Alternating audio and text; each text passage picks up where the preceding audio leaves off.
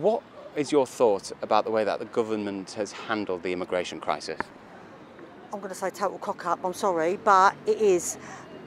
I work used to work in a hotel. Yeah, the whole place now is full of immigrants. They go out there, they get their free this, their free that. We can't even get jobs, half of us. And then they're working as well. I'm not racist, and I know it sounds, but I'm not. But it just winds me up that every nook and cranny, that's where they are. You know, they go for all the bins of a night time, they take all the stuff outside. But you shouldn't have asked me, I told you it's wound me up. I'm sorry. Just quickly, who do you vote for? Labour. And do you think Labour will handle immigration better than what the Conservatives do? To be fair, love, I don't, they're all, I don't think no one's got a clue because it's never really happened, has it? It's, it's all sort of been bombarded on us, and I don't think it was Conservative or Labour. I don't think any of them got a clue, to be quite honest. So I think whoever did it, it's not going to be a great job of it. So you're not hopeful for the future then? No, I just think it's going to get worse. It's all right saying they're not going to let anybody else in, but they are. And then we're, we're made to feel sorry for them because the boat's capsized, didn't they? But they know the risk. My biggest thing is, I know people, I've worked with people that have come from Ukraine, right? Fair enough, because they're fleeing. The lady I know, she she had a, her own house. She's come over here, had to pay a thousand pound a month rent because she had to flee with her son because son was 17. They wanted him to go into the army, and she was so scared. Yet the other people coming here, they're not fleeing from war, war what's it places. They're just fleeing because they know he's here for a better life. What about the people that have come from places like Afghanistan, other places where there is actual war? Well, that's well? different. I've got compassion for them. Like I said about this Ukrainian lady, I've got the compassion. I don't. Is freeloading. That's what gets me. Is the freeloaders come over here? Oh, let's go to England. Blah blah blah. Because half of them are men that come over here. So if they wanted to come over here for a better place, why aren't they taking all their families with them? Well, I think that we should look after we, should look after our own people more. Um, you know, the people that are born in this country. I think we should start looking out for them instead of bringing more foreigners in, because it's not fair on everybody else, especially us.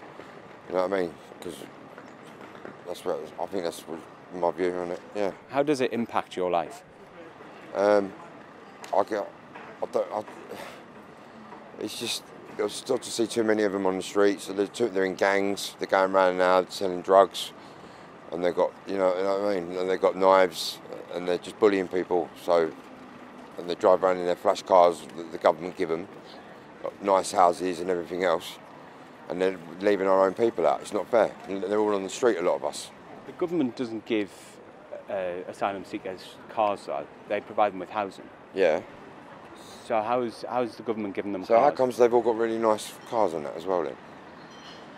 I'm not too sure.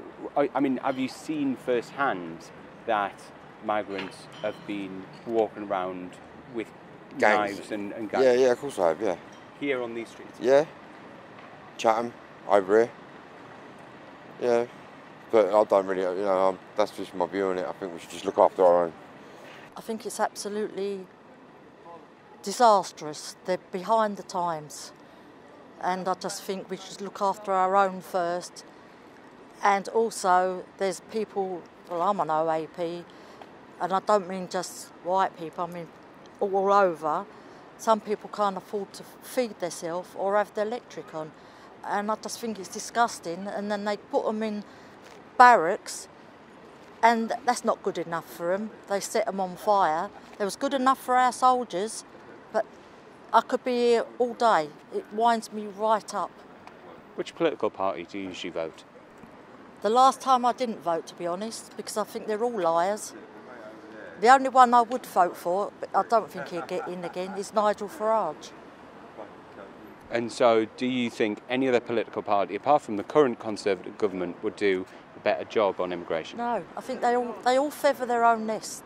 They're all liars. All of the whole lot of them. The best one we've ever had was Winston Churchill. That's how I feel. I think that they've got a really, really difficult task, as does the whole world.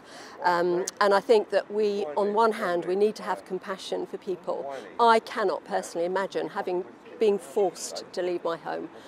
I really can't imagine, you know, uprooting everything. And I think many people haven't stopped to think about what drives these people.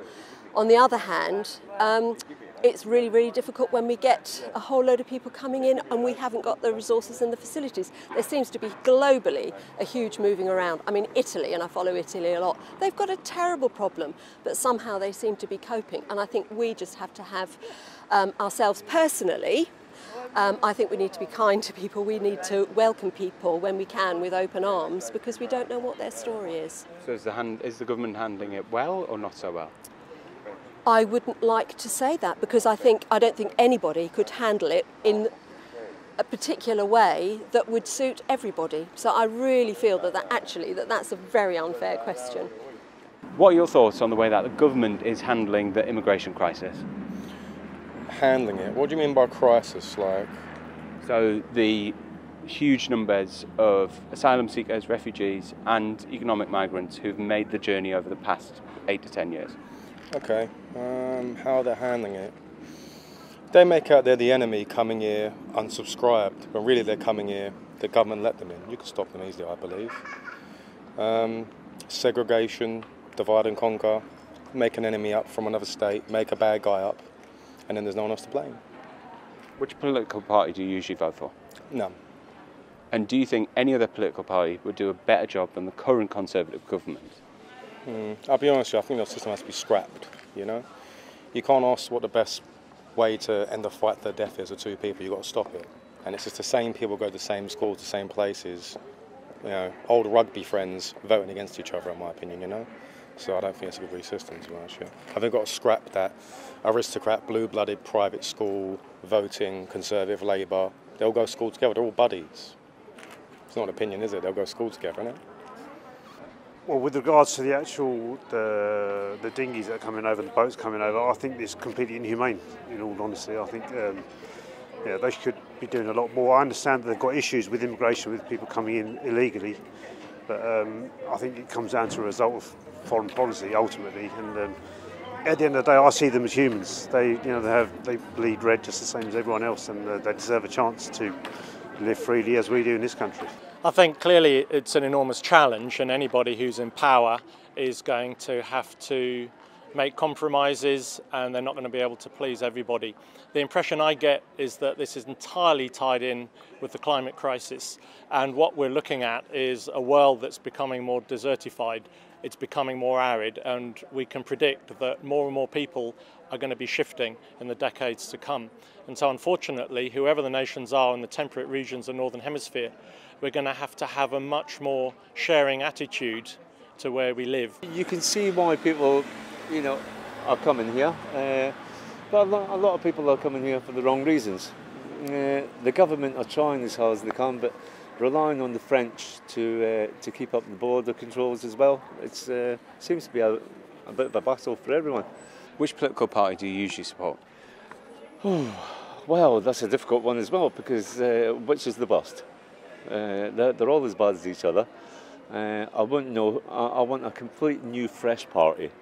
Uh, basically, if, if I was, if I had my way, everyone would. Uh, there would be a, a daily newspaper where the people could vote. Let, uh, leave the politicians out of it. It should be down to the people at the end of the day. So more referendums. Yeah, without a doubt. Yeah.